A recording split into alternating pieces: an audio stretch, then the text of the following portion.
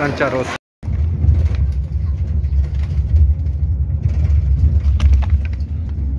ये ट्रेन की ये ट्रेन की तरफ़ से हमको दिया गया है। इसके अंदर से एक निकली है ये कैन एक ये बकेरी और एक जो है मास्क। बोल के बताता हूँ आपको। ये मस्करीन है जिस पेपर बोलते हैं। एक ये अस्सी यूरो। और छः यूरो की विचंसा से वरोना ये जो है ये टिकटें हैं ये पाकिस्तानी तकरीब सौ चालीस यूरो की टिकटें हैं। पाकिस्तानी ये बन जाता है तकरीबन तीस हज़ार रुपये जी अभी वरोना से हम निकल पड़े हैं रोमा की तरफ़। तो ये आप टिकट्स भी देख सकते हैं। यहाँ पर मैं आपको एक बात बता दूँ। यहाँ पर ट्रेन का सफ़र बहुत ज़्यादा महँगा है, जहाज़ की बनस्बत।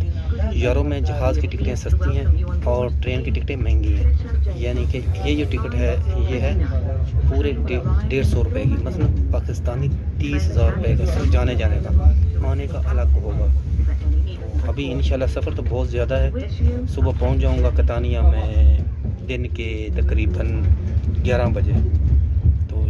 ट्रेन भी बहुत इनकी फ़ास्ट है। देखते हैं जो सफ़र होगा कैसे होगा। इटली का बहुत ही मशहूर मरूफ एक सिटी है जिसका नाम बलोनिया है।